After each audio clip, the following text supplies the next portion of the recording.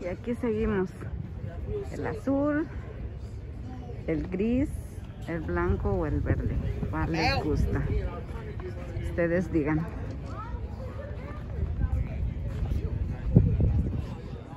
O este que está aquí en la exhibición.